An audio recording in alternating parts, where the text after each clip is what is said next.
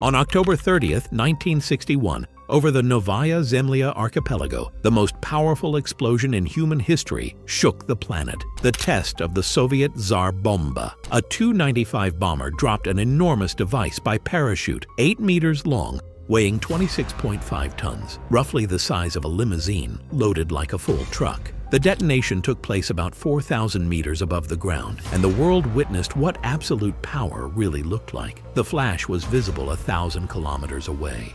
In Norway, Greenland, and even Alaska, everything alive within 55 kilometers vanished. And in the settlement of Dixon, 780 kilometers from ground zero, the shock wave shattered windows. The blast waves circled the Earth three times. The mushroom cloud soared 67 kilometers high, above the altitude of some modern low-orbit satellites. Modern estimates put the yield at around 58 megatons of TNT, 3,800 times more powerful than Hiroshima. In 2025, scientists declassified additional data from the test. The temperature at the epicenter exceeded 100 million degrees, and the reflected shockwave nearly brought down the bomber that dropped the bomb. Even decades later, the Tsar Bomba remains a symbol of what humanity can create and a chilling reminder of how dangerous such power can be.